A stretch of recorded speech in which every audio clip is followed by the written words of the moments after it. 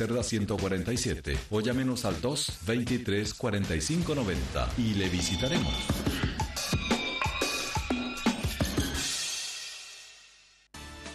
Roco TV y Radio Coyhaique con el auspicio de Áridos Las Lengas, Edela y Zen, Aguas Patagonia, Automotriz Varona, Óptica Imagen, Hiper Patagónico, Carnes Fuensalida presentan desde Coyhaique, con cobertura en ocho regiones del país. Enfoque informativo. ¿Cómo están? Bienvenidos, bienvenidas. Qué, qué linda la espalda que nos acompaña. Quiero felicitar a todo el equipo nuestro que ya iniciando septiembre nos lleva adelante, por supuesto, con nuestra bandera, con con nuestro, con nuestro emblema patrio. Y por supuesto ahí me pusieron adelante algunos elementos que me llaman también la atención. No sé si los jóvenes hoy día realmente los conocen, pero aquí yo lo conocí justamente con mis padres, con mi madre.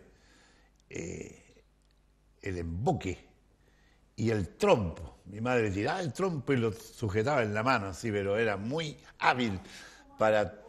¿Ah? No sé cómo anda usted, pero yo, claro, eh, tuve mi tiempo. En, en, los días como hoy nos acompaña nuestro analista político, quien le damos la bienvenida. Camilo, ¿cómo está usted? ¿Cómo está mi estimado Rocco? Gusto saludarlo, qué grato encontrarnos con nuestra bandera, con los elementos patrios Llega septiembre y llegó con todo aquí a Roco TV, pues así que aprovecho de extender el saludo también a la teleaudiencia, a quienes nos escuchan también a través de la radio Coyhaique en este comienzo del mes de la patria.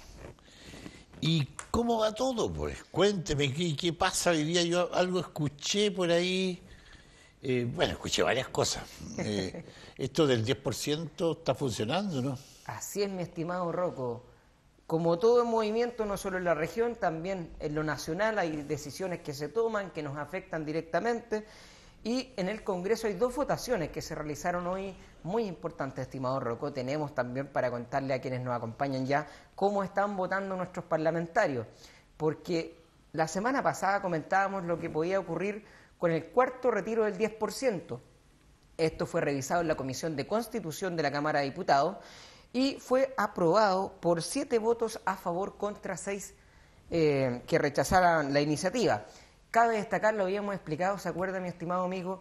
que esta iniciativa fusiona seis proyectos anteriores, se aprobó en general, de esta manera va a pasar a la discusión en particular, artículo a artículo, para después llegar a la sala, ¿cierto?, como conlleva toda iniciativa finalmente de ley. Pero hay un diputado que integra esta comisión de nuestra región de Aysén, Hablamos de don Miguel Ángel Calisto, diputado de la democracia cristiana que votó a favor del retiro y fue tajante en un mensaje al gobierno. ¿ah? Señaló que el IFE, el ingreso familiar de emergencia, es completamente compatible con el retiro del 10%, ya que son recursos privados, ¿cierto? Los ahorros de cada uno de los trabajadores y las trabajadoras. Esa es una materia. Le correspondió a Calixto reemplazar a Walker, ¿eh? Así es, también. Porque Walker es de, de, esta comisión. Justamente. Y, Walker estaba en contra. Estaba en contra. Fue parte también de, de, la previa, como se dice en lo que fue la discusión, la presencia de Miguel Ángel Calixto podríamos decir que fue clave, porque permitió, cierto, que se logre aprobar esta iniciativa con la diferencia de un solo voto. Y hay otra cosa, mi estimado Rocco, que también se votó esta vez en el Pleno, ¿cierto?, en la sala de la Cámara de Diputados, y es una propuesta que presentó el demócrata cristiano Gabriel Silver, que junto a la CUT, a la Central Unitaria de Trabajadores, lo vimos también acá, ¿cierto?, en nuestra comuna, el llamado que realizó esta Central Unitaria, eh, de una iniciativa que buscaba eh, declarar irrenunciable este 17 de septiembre. Bueno, de hecho, hoy día en el Paseo Hall se reunieron los eh, representantes de algunas tiendas retail. ¿ah? Así es. Y también la Central Unitaria de Trabajadores, ahí estuvo eh, este chico que tiene el mismo, eh, Mauricio Muñoz, pero el Mauricio Muñoz Gatica. Claro. ¿ah? don Mauricio Muñoz. Me, me contaba don Mauricio Muñoz que los diputados, uno votó en pareo. Así es. ¿Cómo votaron nuestros diputados, mi estimado Rocco? Se rechazó finalmente esta iniciativa ¿ah? por una amplia mayoría de la Cámara de Diputados, pero le cuento que se abstuvo la diputada Araceli Leuquén, se abstuvo también el diputado Miguel Ángel Calisto y René Alinco realizó lo que se llama la técnica del pareo, con quien se pareó nuestro diputado con Joaquín Lavín Jr. ¿Usted sabe en qué consiste el pareo? Eh, explíqueme mejor. Es una técnica legislativa que conlleva un acuerdo de dos diputados de bancadas distintas, ¿ya? Que cuando uno está ausente, el acuerdo permite que ninguno de los dos vote. Por tanto, queda eh, no ausente en la práctica, queda marcado como pareo, es decir, no votó ni a favor ni en contra. Pero esta vez eh, el diputado René Alinco hizo este pareo con el diputado Joaquín Lavín, que es de la bancada de la UDI, para ejemplificar eh, derechamente lo que es este pareo que sí o sí debe llevar sacado una persona de oposición. De esa manera ellos no quedan ausentes. O sea, en este caso, ¿quién estuvo ausente? ¿Ninguno de los dos? Eh, claro, justamente. Ah, y votaron. Eh, ¿Pero el voto es favorable? Eh, no, no se contabiliza. Ah, solo no queda registrado como pareo. Es una técnica legislativa que a todo esto, mi ¿Quién estimado. lo parió? eh, claro, el año pasado fue bastante discutida a ver si se eliminaba o no. Bueno, los congresistas decidieron no eliminarla, ya estamos viendo para qué tipo de casos se utiliza. Bueno, y esto va en contra de, de los trabajadores que esperaban ese eh, feriado irrenunciable para el día 17, ¿no? Justamente, el espíritu de esta iniciativa. ¿Y qué día de cae el 17 a propósito? Es día sábado, si la memoria no me falla. Viernes. Viernes, viernes. Está bien, pues, está Claro. bien, está bien. sí. Ahora, el espíritu era precisamente eh, que sea irrenunciable para que los trabajadores del comercio, del retail, digamos, tengan su derecho a descanso, porque muchas veces depende de los pequeños y medianos emprendedores el permiso, ¿cierto?, que puedan darle las jefaturas, no así en el caso del retail. Pero que ellos normalmente trabajan sábado y domingo. Eh, justamente. ¿ah? Estas tiendas no cierran sábado ni domingo, Sodimac, eh, Corona, eh, Chicot, eh, por decir algunas, esas no, no, no cierran. Claro. En cambio, la- las tiendas nuestras eh, trabajan hasta el sábado en la mañana, algunas en la tarde, y tienen sus, feriados. De todas maneras. Lamentablemente no prosperó esta iniciativa. Oiga, los dos eh, grandes proyectos. Volvamos a lo, jornada. a lo local. Eh, algo pasó con los concejales eh, con respecto al ex alcalde Guala. Así es, mi estimado. Le cuento que los concejales actuales, el nuevo Consejo Municipal ha tomado parte y acción respecto de las irregularidades que la Contraloría ha hecho ver eh, desde el año 2018, lo que fue la administración del exalcalde Alejandro Guala, y concurrieron, llevaron un requerimiento esta jornada al Tribunal Electoral Regional. ¿Debido a qué? Al informe final número 80 eh, que emanó de Contraloría, que detectó irregularidades no solamente administrativas, de probidad, de contratos también, entre otras, eh, y también señaló, por ejemplo, que hay responsabilidad no solo del exalcalde, también de sus directivos, lo que fue el caso Corral Municipal. Bueno, de los seis concejales, cinco firmaron este requerimiento y los vamos a mencionar, ¿cierto?, para entregar la información completa a la ciudadanía. Ana María Navarrete del Partido Socialista, Joana Hernández de la Unión Demócrata Independiente, Alejandra Aguilar de la Democracia Cristiana, Claudio Vidal, Independiente, Regionalista Verde, y el concejal Fidel Pinilla Andrade firmaron este requerimiento. Y O sea, la que yo- se restó fue la concejala... Hernández. No, la, la que se restó fue Yorca Cheuquian, que es del. Frente Amplio. ¿Y Joana qué, cómo votó? Joana eh, firmó este requerimiento. Ah, lo firmó también. Sí, Ya. fueron cinco de seis los que concurrieron al tribunal. ¿Y qué ocurre? ¿Cuál es el objetivo de este, esta presentación? Que se pueda establecer no solamente la culpabilidad eventualmente del exalcalde ante los hechos que señala la Contraloría, sino que también él pueda tener el derecho a tener su réplica en un tribunal, pero si éste lo encuentra culpable, eh, sería inhabilitado durante cinco años de ejercer todo cargo público. Recordar que el exalcalde es funcionario público, funcionario municipal, entonces todo esto va a tener que ser revisado ahora por el tribunal. O sea, lo podría ejercer en el cargo que, que está dispuesto para él, que Justamente. está guardado para él. Así es, porque le- es planta, digamos. Eh, En el sector del medio ambiente creo que está. Justamente, pero esta, este eventual fallo que nos va a dar el tribunal prontamente, porque luego va a revisar lo más probable rápido este requerimiento, se venía preparando con anticipación. Pero abandono de poder en base a un cierto proyecto o a varios proyectos. A un montón de iniciativas desde el año 2018 hasta la última fecha en la que se encontraba el alcalde igual en ejercicio, se revisaron distintas materias. Una de ellas, que ya salió a la luz pública este informe, es por ejemplo lo ocurrido con el corral municipal, donde hubieron contrataciones irregulares, problemas de financiamiento, también, también. Pero en paralelo, eso lo está investigando la Fiscalía, pero en paralelo los concejales pueden inhabilitar al exalcalde de los cargos públicos. hay unos temas que están relacionados con los FRIL también, que no han sido ejecutados, que hay que devolver plata, otros que están sin rendir. Justamente. Bueno, ojalá que don Alejandro salga también de esta situación y pueda comprobar lo contrario. Eso en el caso. Oiga, eh, pitazos, eh, bocinazos, habían hoy día en la plaza. Así es que ocurrió en el centro de nuestra capital regional, mi estimado amigo Rocco Mortinero, movilización de los taxis colectivos. ¿A raíz de qué? El gremio del transporte público, que cierto agrupa todos los taxis y colectivos de nuestra comuna, eh, se movilizó en contra de tres situaciones la eliminación del impuesto específico a los combustibles, pero, ojo, a los taxis y colectivos. ¿ya? Eh, hizo hincapié don Luis Cayún, que es el presidente de este gremio. Eh, el decreto 212, que es un reglamento que regula los servicios de transporte a nivel nacional, ¿Qué dicen ellos? Este data desde el año 1992, por tanto están llamando también a avanzar en una modernización de esta legislación. Y por otro lado, están también solicitando eh, esto va a tocar al gobierno regional y también a la Seremi de Transporte y Telecomunicaciones, eh, que retome o retorne, mejor dicho, el programa de mejoramiento de los taxis. ¿ya? Es una iniciativa que, según el mismo presidente de este gremio, fue levantada desde aquel movimiento social de ISEN. Era un programa que, eh, entre los tantos cambios que han habido, se perdió. Ellos están pidiendo que regrese. No es el de renovación, es el de mejoramiento de los vehículos. Fíjese que como nada es casual, eh, vamos a adelantar una nota, porque justamente teníamos una nota para el enfoque informativo, que tiene que ver con la movilización de los colectivos, que nuestro departamento de prensa, en nuestra directora ejecutiva hoy día fue a preguntar por qué había tanto bocinazo. Eh, la nota entonces, director de la movilización de los colectivos.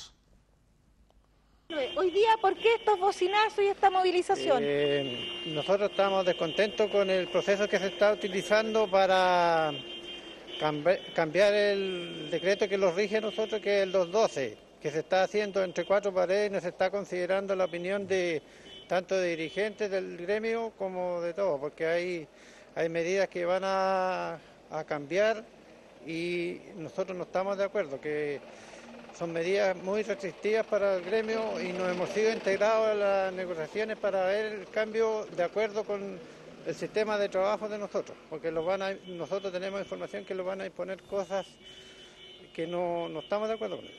Perfecto. ¿Y están todas las líneas hoy día? Eh, estas movilizaciones a, a lo largo de todo Chile.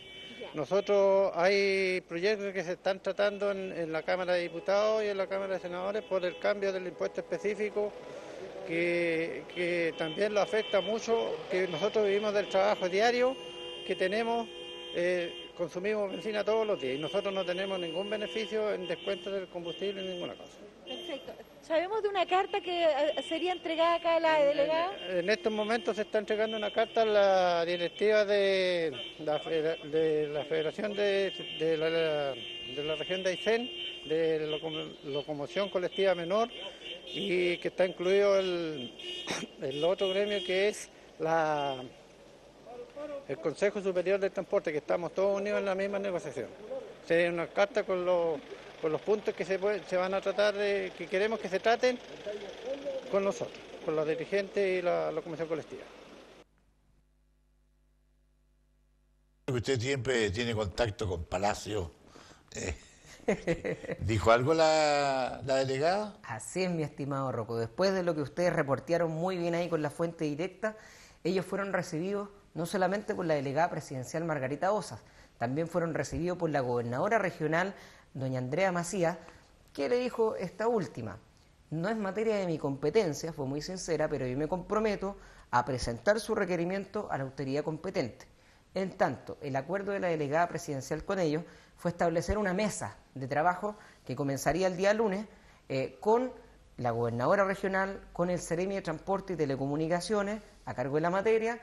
Esperemos también que se extienda al Consejo Regional, dado que ahí también tenemos una comisión de transporte, ¿cierto? Y van a avanzar cómo podemos ir canalizando estas eh, inquietudes, manifestó, sobre todo porque hay un punto, un programa que existió anteriormente. Entonces, yo creo que por ahí van a avanzar. Eh, y, por otro lado, en materia de disminución del eh, impuesto específico a los combustibles, van a también, yo creo que integrar a los parlamentarios en la discusión para la bajada informativa, ya que es una materia que también pasa por ahí. ¿Usted jugó alguna vez al pool? Por supuesto, en la universidad era muy bueno verme al pool con los amigos. Claro, porque normalmente hoy día para sacarse los pillos siempre se arma una mesa. sí, pues, por todos lados, las mesas públicas ya. Es la mejor manera de sacarse los pillos. Así es. Oiga, eh, vamos a Puyo Guapi porque doña Almendra Silva ahí nos mandó la otra vez una información y la estuvimos comentando y quería tomarla este día porque dicen que lamentan haber puesto las jaulas en la noche. O sea, las podían haber puesto en el día. Justamente. ¿Qué pasó con eso de la jaula ya?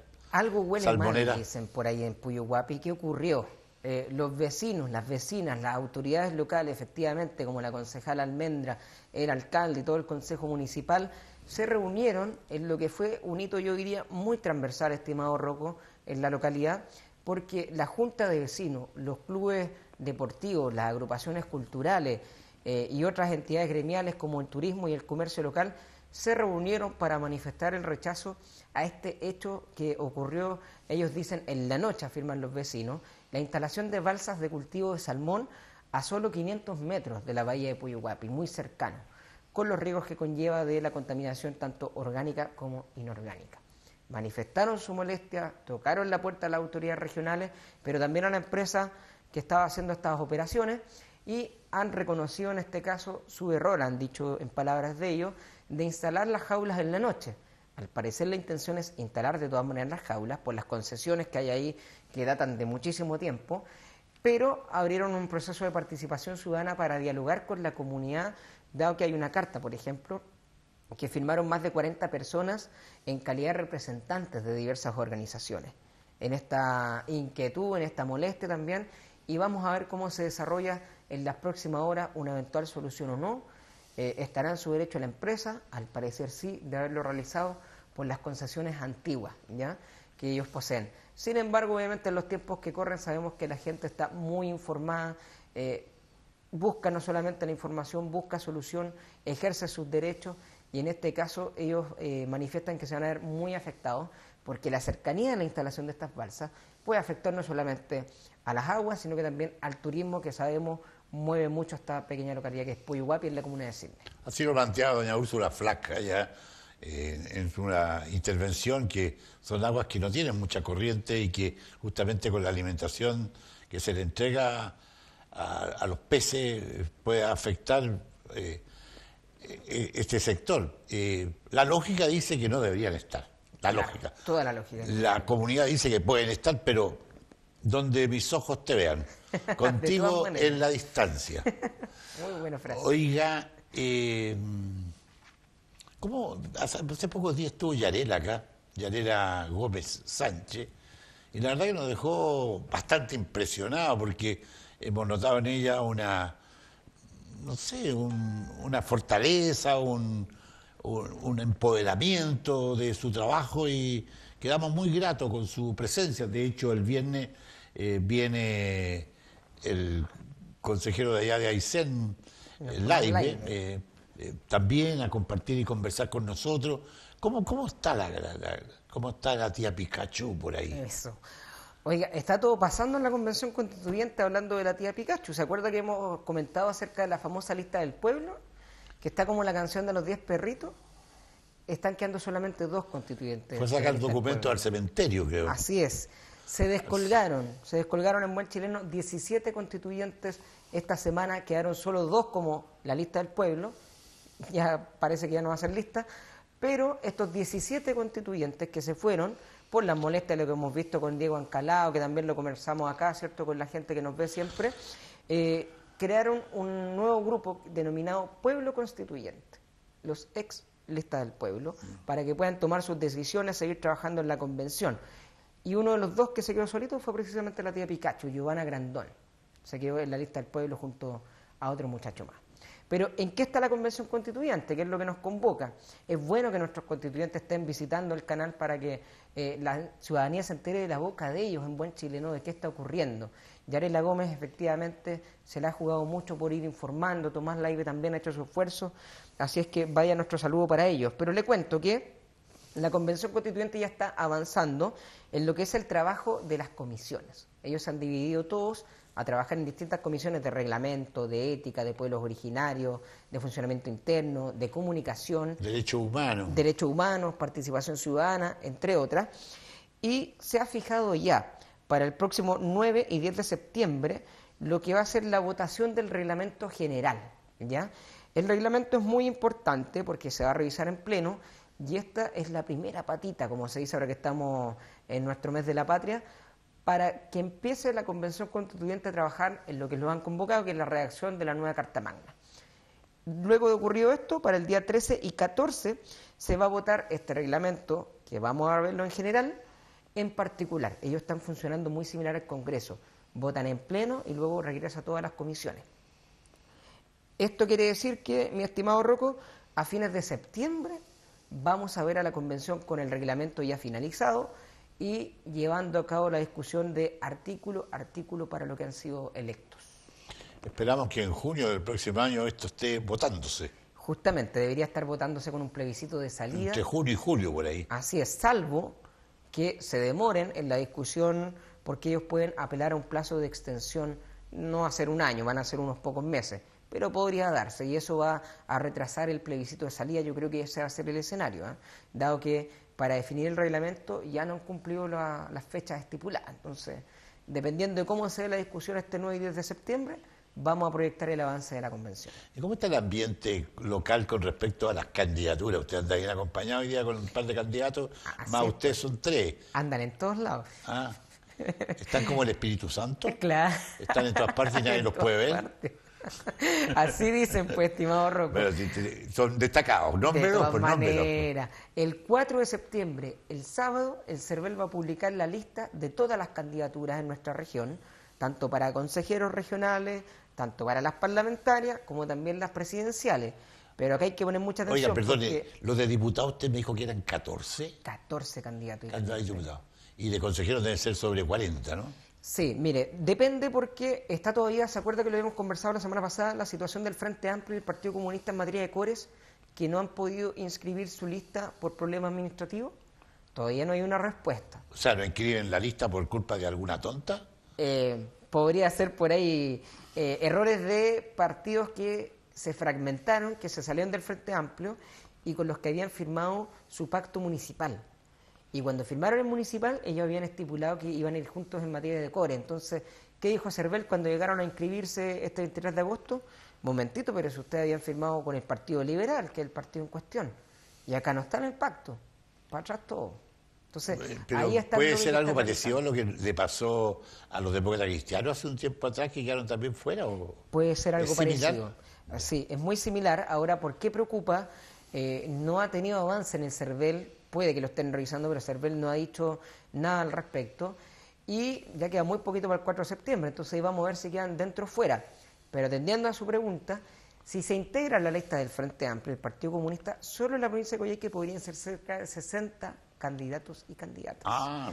Va a ser un mapa de navegación la papeleta Yo que creo que se va a dar, porque la verdad la cosa es que siempre decía un amigo mío que si Jesucristo hubiese sido chileno, no lo crucifican ni a cañón.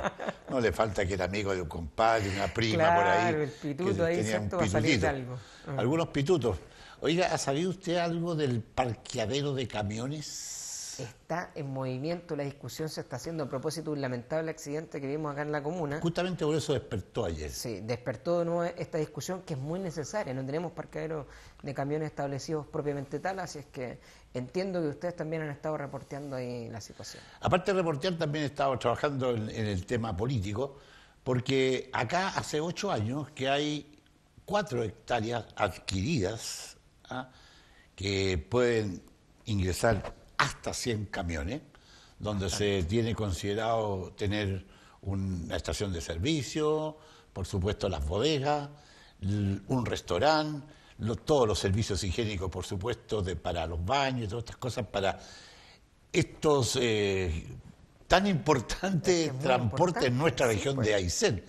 Y esto ha estado detenido y es complicado, porque si pasan 10 años que no se haga nada, esto automáticamente pasa al municipio. Justamente, se pierde. Y en, el, en otro sector hay unos vecinos que dicen, no, no los queremos de vecinos, no los queremos. ¿Por qué? ¿Por qué? Porque también tienen sus propios intereses. De todas ah, maneras. Tienen sus intereses de construir sus condominios y vender sus tierras y todas esas cosas.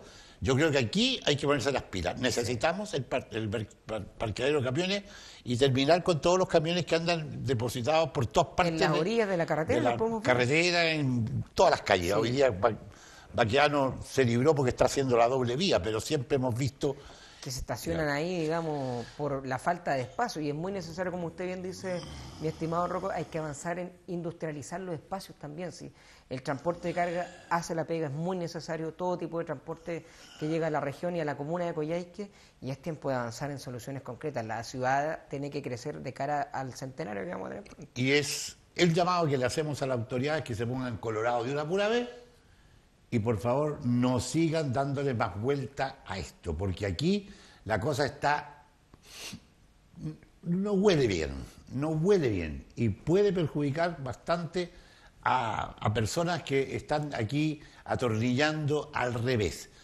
Lo dejo para despedirse porque la próxima nota está justamente vinculada con una entrevista realizada a dos dirigentes del transporte pesado que vinieron a nuestros estudios para contar la situación. Lo dejo. Muchas gracias, mi estimado amigo Rocco Martiniano. Siempre es grato encontrarnos, analizar la contingencia. Vamos rápida con la nota y agradecemos la sintonía de siempre. Nos vamos entonces con esta entrevista que realizamos con don Ramón Vidal y por supuesto con el señor Nelson Ramírez. Comentábamos en el noticiero del día de ayer la situación vivida por una empresa de transportes muy conocida y querida en la región, eh, que por razones que por nosotros desconocemos, ese vehículo se incrustó en una vivienda, causando destrozos en la vivienda, por suerte materiales, y no tener que lamentar pérdidas. Pero eso nos llama también a la reflexión y hemos querido justamente invitar a dirigentes del transporte de nuestra ciudad. Está con nosotros Ramón Vidal para que nos comente un poco de esta importancia que tiene un parqueadero en Coyhaique que ya lleva muchos años solicitándose y que cuentan con el respaldo del terreno y aún no se concreta esta posibilidad. Consultarle, junto con saludarlo, don Ramón, qué significa tener este parqueadero y en qué situación estamos al día de hoy. Sí, por supuesto, nosotros del año 2013 que tenemos un terreno eh, para un parqueadero que son cuatro hectáreas. Y, resulta que hasta los días de hoy el, gobierno regional eh, no, no, no, nos apoya eh, con, con, realizar al final este, este parqueadero. De hecho, es una, una gran un gran beneficio para toda la comunidad, no solamente para el transporte, sino para toda la comunidad. De hecho, el accidente que, ocurrió el día de ayer eh, es motivo porque andan camiones de gran envergadura todavía recorriendo la ciudad de Coyhaique, porque no tienen dónde, dónde estar, dónde, dónde hacer la consolidación de su mercadería. Entonces, para nosotros es muy importante eh, tener un